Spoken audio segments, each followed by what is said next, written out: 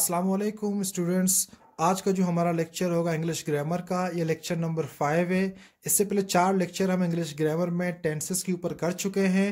तो अगर आपको वो सारे टेंसेस सीखने हैं तो आप प्रीवियस लेक्चर्स को देख लीजिएगा। जो आज का जो हमारा लेक्चर नंबर फाइव है, इसका टॉपिक है प्रेजेंट परफेक्ट कंटिन्यूस टेंस तो आज के लेक्चर में हम प्रेजेंट परफेक्ट कंटिन्यूस टेंस के सेंटेंसेस को समझेंगे और साथ साथ में इस लेक्चर में हम इसके सारे स्ट्रक्चर बनाना भी सीखेंगे। अच्छा सबसे पहले इसके नाम पे आते हैं प्रेजेंट परफेक्ट कंटिन्यूस देखें प्रेजेंट का मतलब हमेशा वर्ब की फ़र्स्ट फॉर्म है, ठीक है? मैं आपको किसी और तरीके से आपको समझा रहा हूँ ताकि आपके लिए आसानी हो। तो मतलब इसमें वर्ब की फ़र्स्ट फॉर्म भी होगी परफेक्ट मतलब वर्ब की थर्ड फॉर्म इस टेंस में वर्ब की थर्ड फॉर्म भी आएगी. कंटिन्यूस मतलब फोर्थ फॉर्म या फिर आईएनजी फॉर्म तो इस टेंस में आपको ये तीनों चीज़ें याद रखिएगा. प्रेजेंट मतलब first third and fourth form अच्छा प्रेजेंट परफेक्ट कंटिन्यूस को हम प्रेजेंट प्रोग्रेसिव टेंस कहते हैं. क्यों कहते हैं? अभी मैं आपको बताऊँगा. अब इसमें जुमले कौन से आते हैं? तो कौन से जो एक्शंस होते हैं हमारे, उस किस्म के जुमलों को हम इंग्लिश में कैसे ट्रांसलेट करेंगे?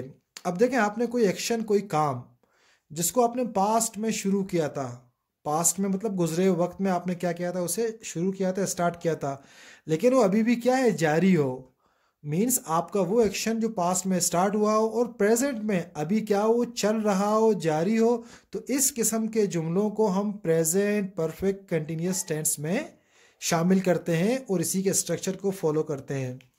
अब यहाँ पर कुछ जुमले मैंने लिखे हैं, इन जुमलों को आप देख लीजिएगा। तो आपको बेहतर कॉन्सेप्ट क्लियर हो जाएगा।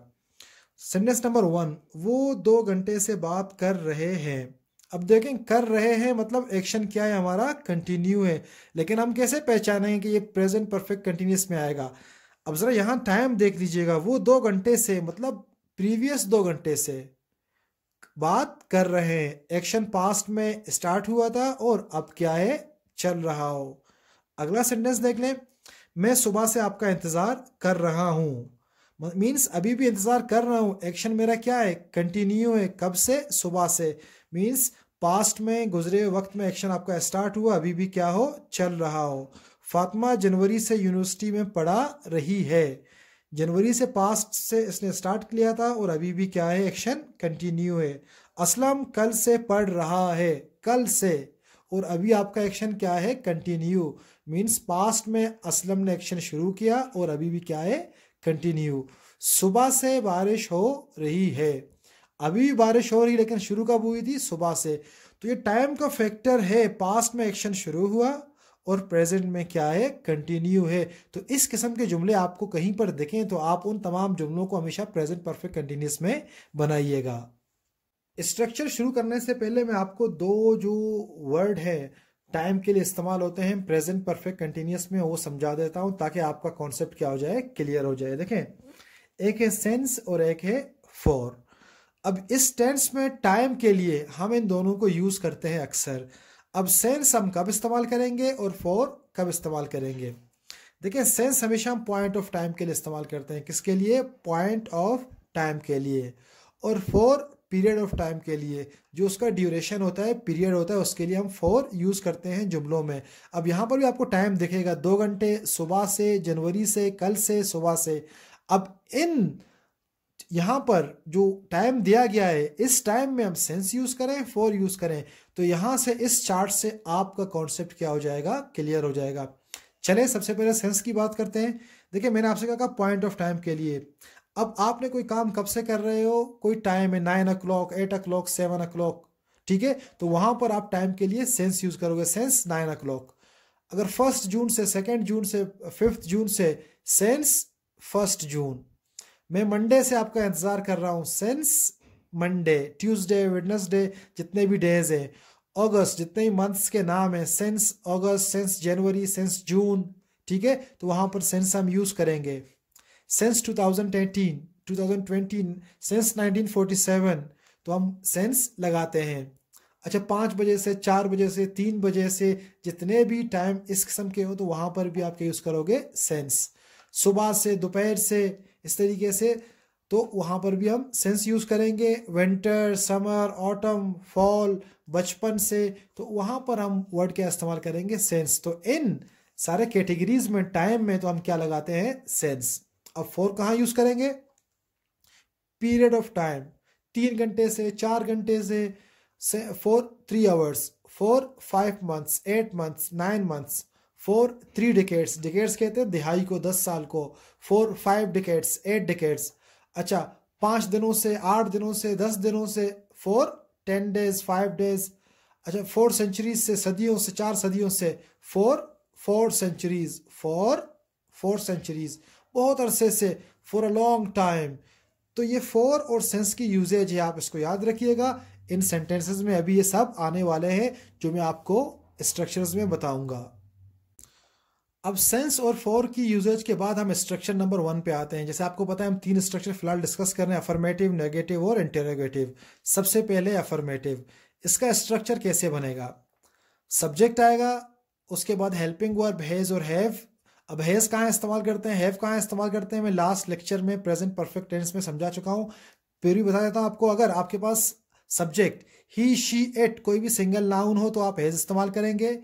आई यू वी दे एक से ज़्यादा नाम हो अली एंड असलम तो वहाँ पर आप क्या इस्तेमाल करेंगे? Have subject helping verb has और हैव उसके बाद बीन लगाते हैं, फिर वर्ब आईएनजी फॉर्म में, फिर ऑब्जेक्ट ऑब्जेक्ट के बाद जो टाइम होता है या सेंस लगाएँगे फिर फोर अगर आपके पास पॉइंट ऑफ़ टाइम है तो सेंस लगाएँगे पीरियड ऑफ़ टाइम है तो फोर लगाएँगे। जो आपको मैं यहाँ पर समझा चुका हूँ, आपके सामने मौजूद है, आप देख लें, इसको समझ सकते हैं आप। अब sentence number one they have been talking for two hours वो दो घंटे से बात कर रहे हैं। पास्ट में दो घंटे पहले उनकी बातचीत शुरू हुई, अभी भी क्या है? चल रही है।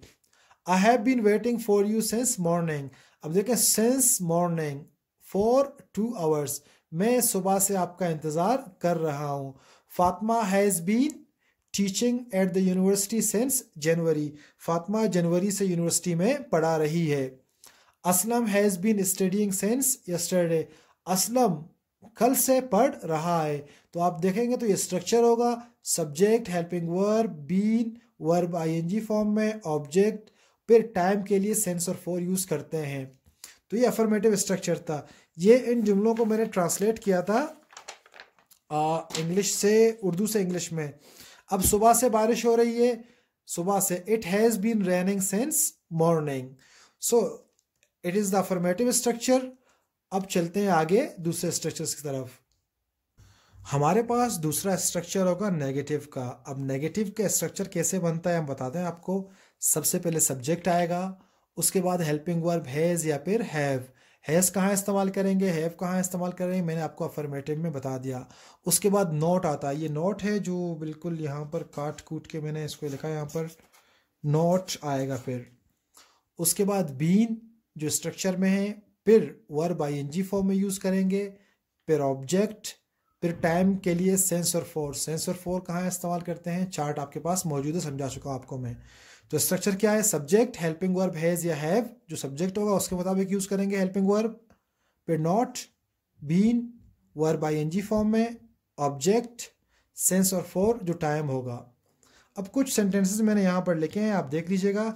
He has not been working in bank since 2016 देखिए ही सब्जेक्ट है हेल्पिंग वर्ब क्या आ गया? हैज़ फिर स्ट्रक्चर का नॉट फिर स्ट्रक्चर का बीन फिर वर्क फ़र्स्ट फॉर्म है ING form working in bank object time दिया गया 2016 तो उसके साथ क्या आएगा? सिंस 2016 तो ये स्ट्रक्चर इस तरह यूज़ होता है। I have not been sleeping for three days I subject have helping verb not फिर बीन स्ट्रक्चर का स्लीपिंग वर्ब की third form for three days three days का हम क्या इस्तेमाल करेंगे? फॉर आप यहाँ देख लीजिएगा, आपको समझ आ जाएगा।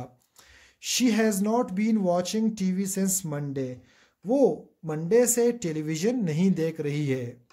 They have not been coming to office since June 2020 वो जून 2020 से ऑफ़िस नहीं आ रहे हैं। तो ये नेगेटिव का स्ट्रक्चर है तो नेगेटिव का स्ट्रक्चर ऐसे बनता है। इसको देख लीजिए, कोई बात आपको समझ में ना आई हो तो मैं आपको कमेंट बॉक्स में समझा देता हूँ। हमारे पास जो लास्ट स्ट्रक्चर है दैट इज़ इंटेरोगेटिव इंटेरोगेटिव मतलब सवालिया जुमले क्वेश्चन मार्क ठीक है? अब इसका स्ट्रक्चर क्या होगा? इसके स्ट्रक्चर अफर्मेटिव से आप क्या करें? बहुत आसान है। अफर्मेटिव में जो हेल्पिंग वर्ब सब्जेक्ट के बाद उसको शुरू में लाएँ और लास्ट में क्वेश्चन मार्क लगाए, जो मैंने यहाँ पर लगाया नहीं है। तो इस तरह आपका ये इंटेरोगेटिव का स्ट्रक्चर बनेगा। तो अफर्मेटिव में आप हेल्पिंग और शुरू में लाए हैज़ और हैव फिर सब्जेक्ट आ गया, फिर बीन स्ट्रक्चर का, फिर वर्ब आई फॉर्म में ऑब्जेक्ट फिर टाइम जो सेंस फॉर यूज़ करेंगे हम। तो इसका इंटेरोगेटिव ऐसे बनेगा, फिर से बता देता हूँ। हैज़ और have subject been verb ING form में ऑब्जेक्ट सेंस और फॉर और लास्ट में टाइम अब कुछ जुमले मैंने यहाँ पर बनाए, देख लीजिएगा आप। Has he been working in bank since 2016 अब देखें ही सब्जेक्ट है थर्ड पर्सन तो क्या आ गया? हैज़ बीन स्ट्रक्चर का है वर्क फ़र्स्ट फॉर्म है आईएनजी लगाया फोर्थ फॉर्म बन गया इन बैंक ऑब्जेक्ट और 2016 के साथ हमने क्या लगाया? सेंस और फॉर्म में से सेंस लगाया, जो कि आप यहाँ पर देख सकते हैं, जो मैं आपको समझा चुका हूँ। क्या वो 2016 से बैंक में काम कर रहा है? Have you been going to your college since 2018 क्या आप, आप अपने कॉलेज 2018 से जा रहे हैं? अब देखें यू के साथ हैव क्यों आया? मैंने आपको बताया ना यू वी दे आई एक से ज़्यादा नाम हो तो वहाँ पर हम हेल्पिंग वर्ब क्या लगाते हैं? हैव जिसको हम ऑक्सिलरी वर्ब भी बोलते हैं। Sentence number three has Kiran been working as a teacher for five months क्या किरण पाँच महीने से बतौर उस्ताद या फिर टीचर काम कर रही है? For five months has third person के साथ हेल्पिंग वर्ब हैज़ आता है। Have they been watching the same movie for two days क्या वो दो दिन से एक ही मूवी देख रहे हैं? तो इस किस्म के जुमले आपके पास हों, वो सारे इंटेरोगेटिव का स्ट्रक्चर ऐसे बनेगा और ये सब प्रेजेंट परफेक्ट कंटिन्यूस में आते हैं। फिर से रिपीट करता हूँ has he been working in bank since 2016 क्या वो 2016 से बैंक में काम कर रहा है? एक्शन पास में स्टार्ट हुआ, अभी भी क्या है? Continue have you been going to your college since 2018 क्या आप 2018 से अपने कॉलेज जा रहे हो? 2018 में स्टार्ट हुई एक्शन अभी भी क्या है? Continue has Kiran been working as a teacher for five months क्या किरण पाँच महीनों से बतौर टीचर काम कर रही है? पाँच महीने पहले एक्शन स्टार्ट हुई और अभी भी क्या है? Continue have they been watching the same movie for two days मतलब दो दिन पहले मूवी क्या हुई? स्टार्ट हुई देख रहे थे और अभी भी क्या हो, उसे देख रहे हैं। तो ये था प्रेजेंट परफेक्ट कंटिन्यूस टेंस तो इसमें हमने इसकी यूजेज पढ़ी, फिर सेंस और फॉर्म में डिफरेंसेस देखे, फिर अफर्मेटिव जुमले पढ़े, उसके बाद नेगेटिव को डिस्कस किया और लास्ट में इंटेरोगेटिव को डिस्कस किया। अगर आपको प्रेजेंट परफेक्ट कंटिन्यूस में कोई बात समझ में ना आई हो तो आप कमेंट बॉक्स में ज़रूर बताइएगा तो हम आपको बता देंगे और बेहतर तरीके से मज़ीद समझा देंगे। सो ये सिंपल तरीका था इस टेंस को समझने के लिए। हमारे चैनल को सब्सक्राइब कर दीजिएगा संजरानी लेंस को, ताकि आप तक ये लेक्चर्स हम टाइम पर पहुंचाते रहें। अल्लाह हाफिज़, अपना ख्याल रखिएगा।